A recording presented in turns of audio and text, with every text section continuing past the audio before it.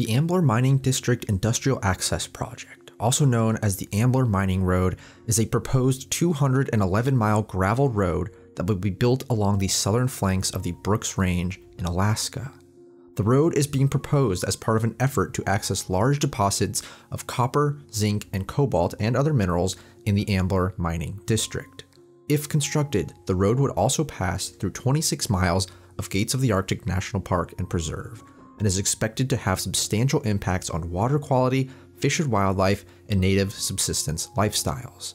This area is one of the last large undeveloped tracts of land in the United States, and the impacts of this project are significant and far reaching.